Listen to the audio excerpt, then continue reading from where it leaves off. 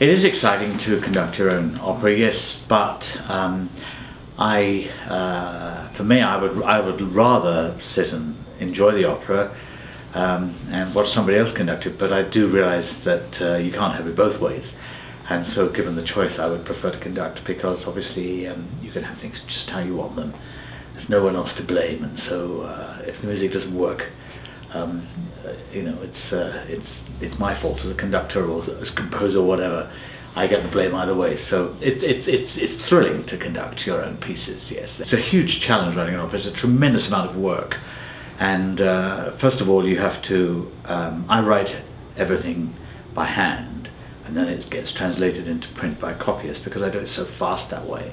I can't do it as quickly on the computer, um, and. Uh, when you write to a libretto like John Murrell's librettos, which are so beautifully crafted for uh, the operatic composer, and when you're working with a director like Kelly Robinson, you're dealing with people who have a, a, profound sense of dramatically what's possible on the operatic stage. When I first read the story, I was so captivated by the drama of it and the tragedy at the end of it that um, I almost well, I didn't realize at all that Sandy Keith actually had a very likable side. The, the contrast between um, good and evil, between um, uh, funny and tragic, and Sandy Keith embodied so many of these things that he became the very stuff of opera pretty quickly.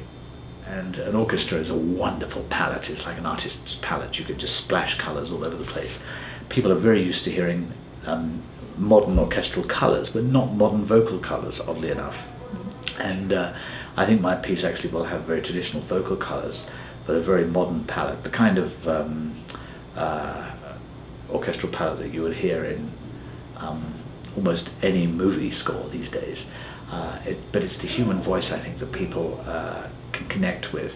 Um, my particular uh, style of language is not, um, although it's polytonal, let's say sometimes you have lots of keys going on at once, and although I use, say, tonal effects and aleatoric effects as well, um, essentially uh, it's taking traditional musical language and using it in a very um, rhythmic and um, harmonic driven way.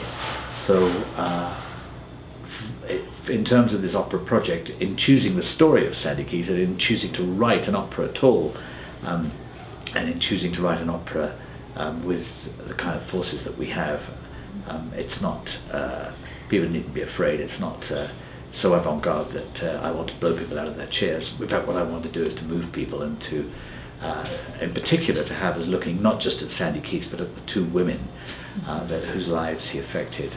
I think how often do you hear a piece of music and think, well, that is how I feel, or that is how I'm um, aspiring to towards, or, or, this piece of music inspires me. Um, we think about these sorts of things when we hear works of music, and I think uh, the continual creation of new music is something that actually is about the continual, uh, the continuity of the human race in, in so many ways. I think music is, uh, is a wonderful art form. It's, it's uh, all embracing, it's a good news story, and, uh, uh, and it articulates that um, inner voice, which really is what we're all about as human beings.